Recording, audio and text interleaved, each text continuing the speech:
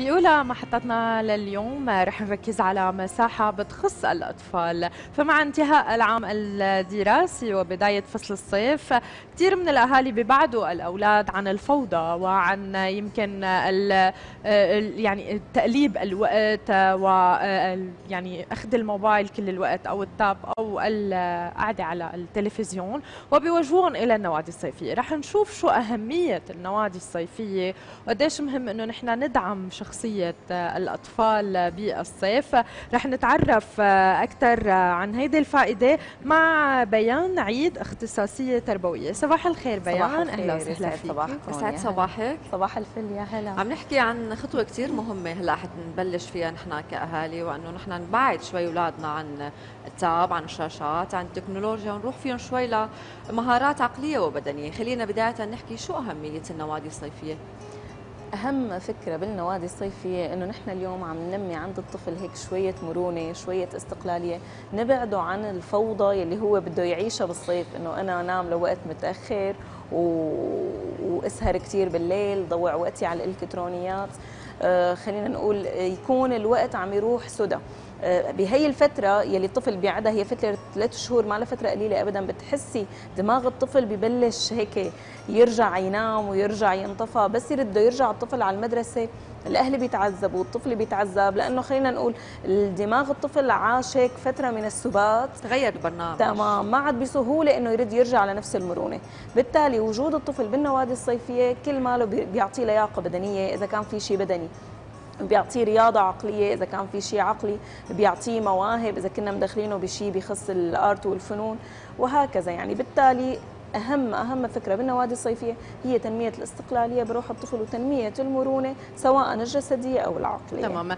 بيان كثير من الأهالي بيقولوا إنه أنا بدي ابني يطلع أحسن مني. أنا بحب كنت أنا وصغير أتعلم آه، أعزف على البيانو وهلأ بدي أعلم بنتي. يعني دائما نحن بنحب آه، يعني نحطهم بقصص حلمنا هو صح. مو حلمهم. ولكن صح. اليوم قديش مهم إنه نحن آه، نعطي خيارات عديدة للأطفال وهن يختاروا إن كان بالرسم إن كان بالموسيقى البيئه وان كان بالرياضة أيضا تمام. بمختلف تمام. الرياضات مثل ما ذكرتي إنه أحيانا الشيء اللي الأهل بيحسوا حالهم ناقص ناقص هون بصغرهم بقوم فورا بيتوجهوا أنا لأنه أنا مثلا ما قدرت نمي حالي بالإنجليش أنا هلأ عم بحط ابني مثلا بكورس إنجليش وفرنسي وروسي بده ينمي لغاته بس الفكرة مثل ما ذكرتي إنه نحن ما بنتوجه لرغبة الطفل ولشغف الطفل.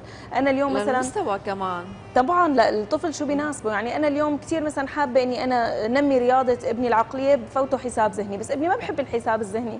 بالتالي أنا حيكون النادي الصيفي اللي أنا عم حطه فيه ما عم يحقق فائدة ولا عم يحقق شغف ولا عم يحقق مرونة أو رياضة.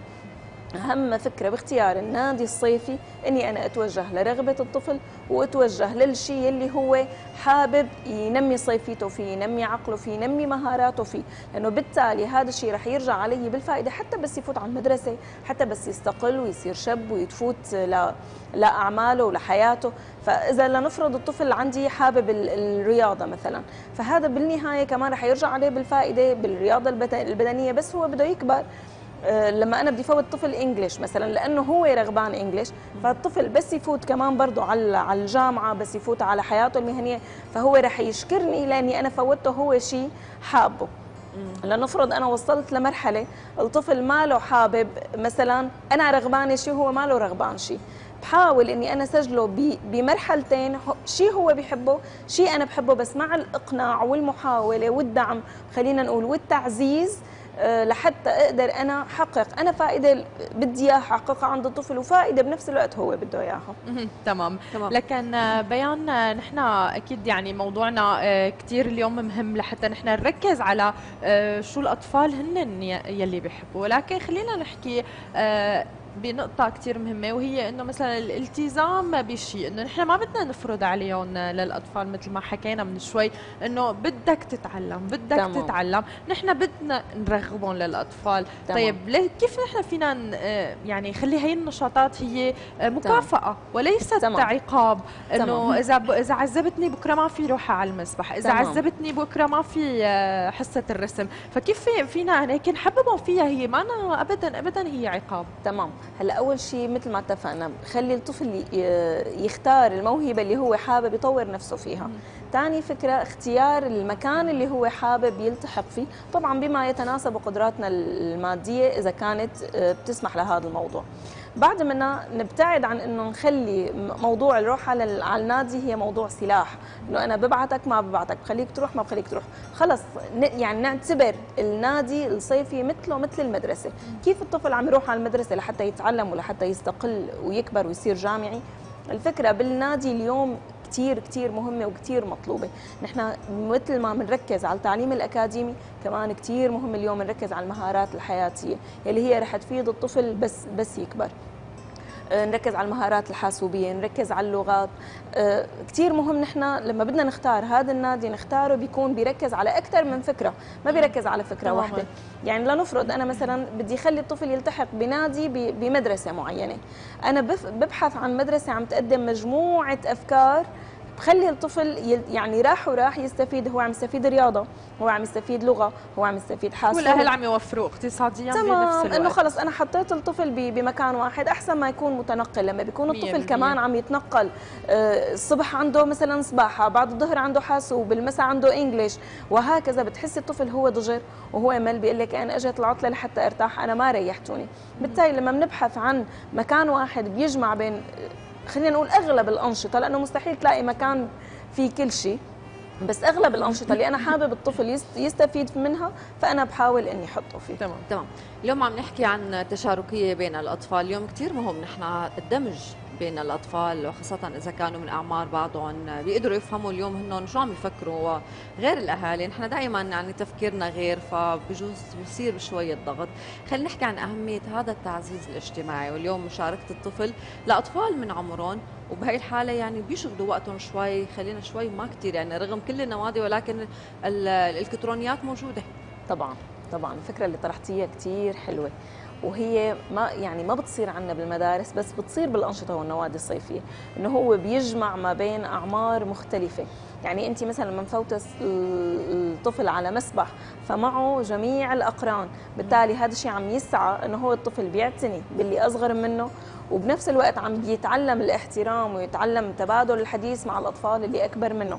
شاركوا همومهم أحلامهم تمام تمام. يعني هواياتهم. يعني هو كان بالمدرسة خلينا نقول دائما بالدوام الشتوي هو عم يبحث عن صديق من عمره عم يبحث عن صديق من صفه. أما هون اختلفت الأمور. هو مضطر يجاري خلينا نقول الكبير والصغير لحتى يعرف إنه هو عم يحقق فائدة بهذا النادي يلي يلي موجود فيه. تمام.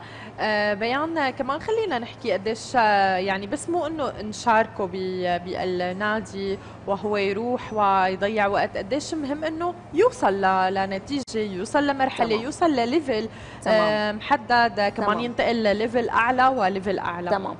في فكرة اليوم يعني هيك نوهتي لي عليها يعني نوهتي لي عليها بسؤالك إنه كثير من الأهالي اليوم لما بتقرر إنه تحط ابنها بنادي صيفي مع الأسف بتقول لك إنه أنا يلا خلصت منه هالكم ساعة إيه. تمام. بعدته عن الإلكترونيات كم ساعة خلصت من نقه مثلا وعفرته بالبيت وكذا هذا الموضوع كثير موضوع غلط وبالتالي بتلاقي الأهل بيختاروا له أي نادي خلص إنه أنا المهم إنه راح أربع خمس ساعات مثل ما كان يداوم بالمدرسة قضى وبعد عن البيت وبعد عن الإلكترونيات هذا الموضوع كثير خطر أنا حتى لما بدي أبحث عن النادي فأنا لازم أبحث عن مكان صح والأشخاص اللي موجودين فيه هن أشخاص مؤهلين ومهيئين للتعامل مع الطفل ولتقديم المهارات يلي ابني بده يكتسبها بس بطريقة عالية وبطريقة صحيحة. طب قديش مهم مشاركة الأهل بالاحتفالات؟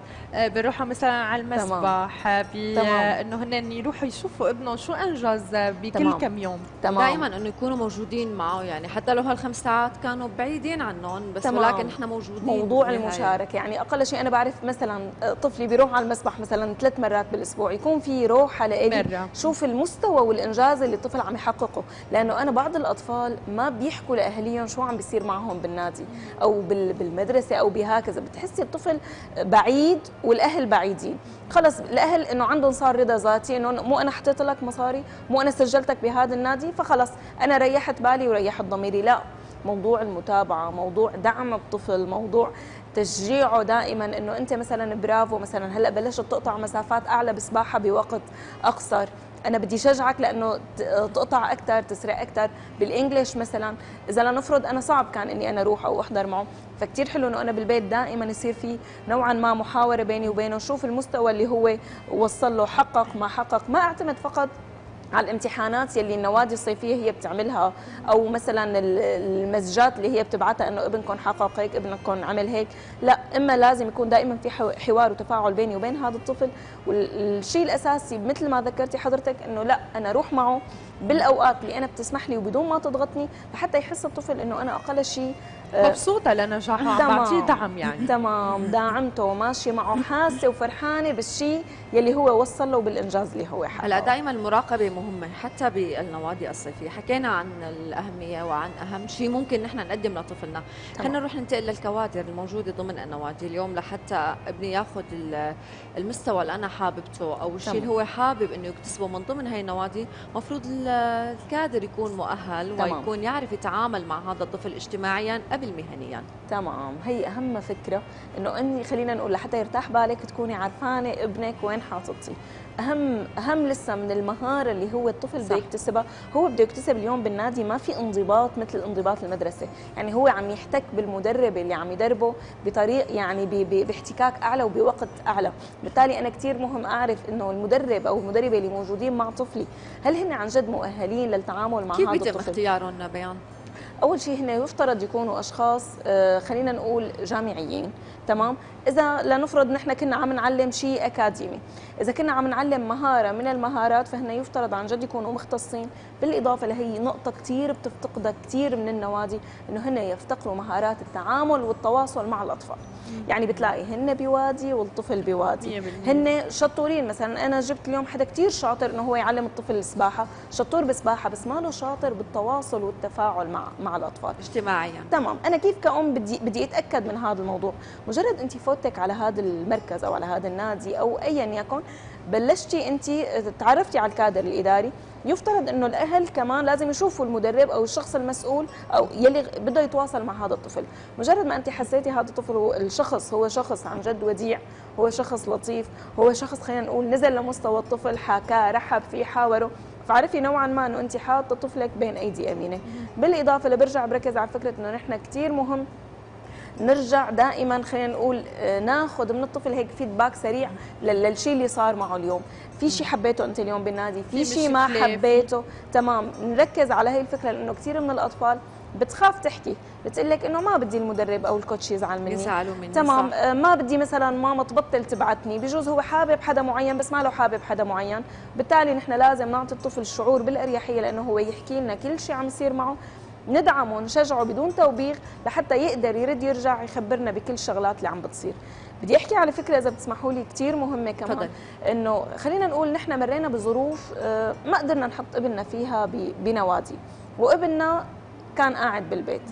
احد هالظروف قد تكون ظروف مادية اقتصاديا مثلا تمام طبيعي يعني طبيعي. ما حدا مرتاح هلا الوضع كثير ضيق على كل الناس تمام طبيعي والنوادي كمان أسعارها كمان أسعارها نوعا ما غالية جداً. وبالتالي أنا كثير مهم إنه أنا أعرف إنه أنا عبي وأستثمر وقت ابني بالبيت بس بيان بالمقابل في كثير يمكن أنشطة هي بمبالغ رمزية واحيانا طبعاً. ممكن نلاقي أنشطة هي طبعاً. أو دعم نفسي للأطفال. هي تكون مجانيه الجمعيات والنوادي ما عم بتأثر بطرح هذا الموضوع حتى في شيء تابع لوزارة التربية اليوم ضمن النوادي الصيفية طبعاً. دعم يعني طبعاً. التربية دعمة بشكل مباشر كرمال موضوع الأسعار. طبعاً. ولكن نحن اليوم إذا ما فينا نروح. إذا ما قدرنا إذا لنفرض أنا ما بقدر كل يوم روح ووصل ابني وكذا. كثير نحن مهم نضبط هذا الموضوع بالبيت. اليوم الإلكترونيات متاحة خلينا نقول أبسط ما يمكن الجوالات متاحة بكل منزل. كثير حلو إنه أنا أستفيد منها بدل ما أستفيد منها سلبا أستفيد منها ايجابا. نحن اليوم كثير في تطبيقات بتعلم اللغة الإنجليزية للطفل كثير في تطبيقات بتعلم الحساب الذهني في تطبيقات خلينا نقول بتنمي مثلا هي في ألعاب بس هي الألعاب بتنمي ذاكرة الطفل. كثير حلو إنه أنا أخلي الطفل يشتغل عليها بس كيف؟ بمتابعتي وبمراقبتي. يعني لنفرض أنا ابني حابب شيء معين على على اليوتيوب. أنا بوجهه لإنه يتابع شيء أنا أنا كمان حاببته على اليوتيوب وهو بفيد مهارته مثلا. خلي هذا الشيء مرفق كأني أنا حاطة الطفل بمدرسة أونلاين. ابني عم آه عم يتفرج وعم يتابع بس بنفس الوقت لازم يكون في بإيده مثلا ورقة وقلم. الشيء اللي أنت هلأ سمعته أنت تمام سيفه اكتبه وثقه يعني قيدوا العلم بالكتابة. كثير حلو إنه أنا خليت الطفل مثلا يلعب لعبة خلينا نقول لعبة بازل فيها تركيب أحرف فيها كذا. أنا خلي الطفل مو بس عم يلعب بصريا. هلا مثلا الكلمة اللي أنت ركبتها بهي البازل احكي لي إياها.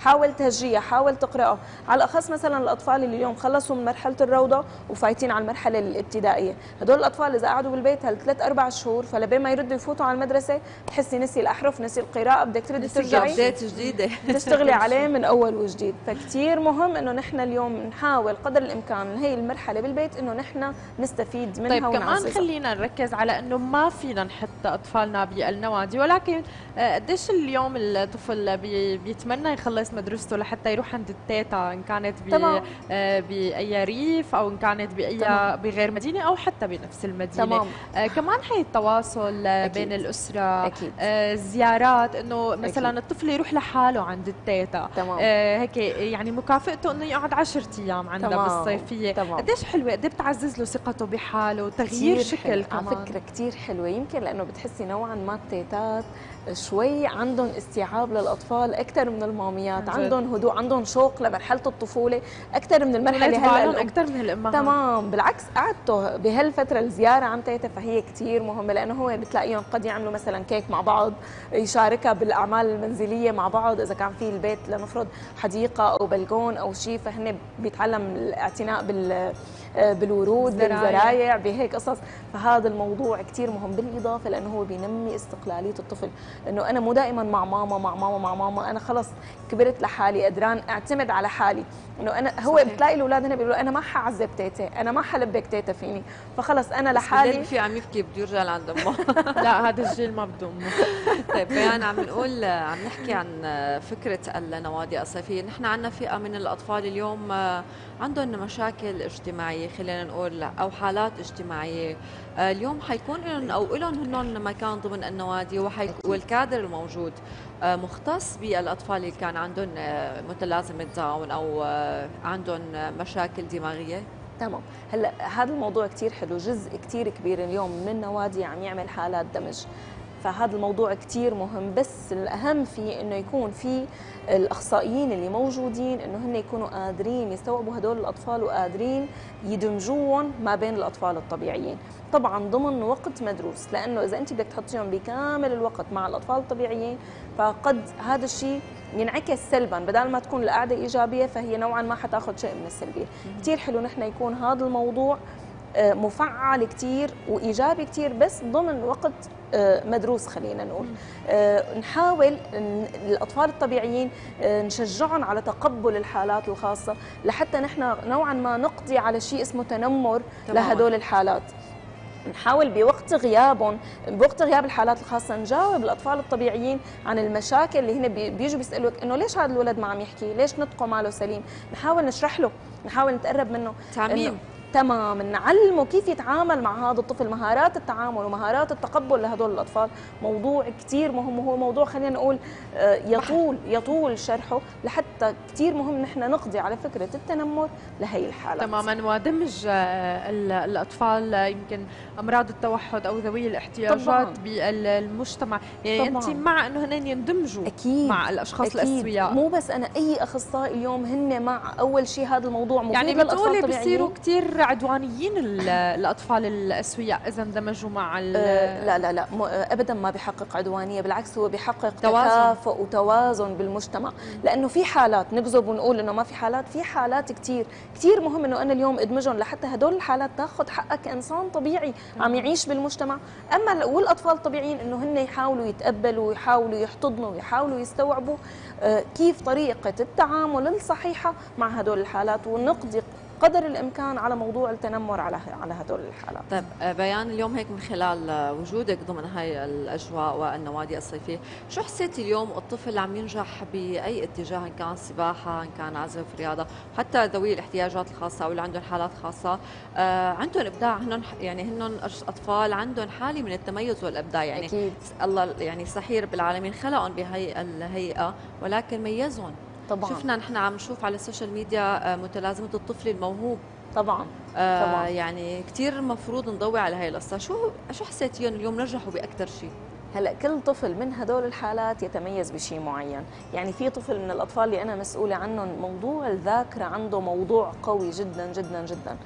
أنت من خلال الذاكرة لما أنت بتقوي له آه، ألعاب الذاكرة وأنشطة الذاكرة فتأكدي تماما إنه هذا الشيء رح ينعكس على تعليمه الأكاديمي لما انت بدك تعلميه اكاديميا. تمام. فهو قادر أي حرف وأي كلمة وأي رقم وأي شيء انت حتعطيه بما إنه ذاكرته قوية معنا بالأنشطة التفاعلية فهو قادر يخزن معك هذا هذا الموضوع. بالإضافة لأنه أنا مثلا عندي طفل لياقته البدنية عالية جدا جدا وطاقته عالية جدا.